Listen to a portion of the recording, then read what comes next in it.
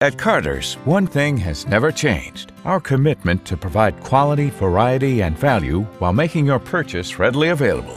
Carter's, your hometown furniture store for over 60 years, is located at the corner of Wadley and Garfield in Midland.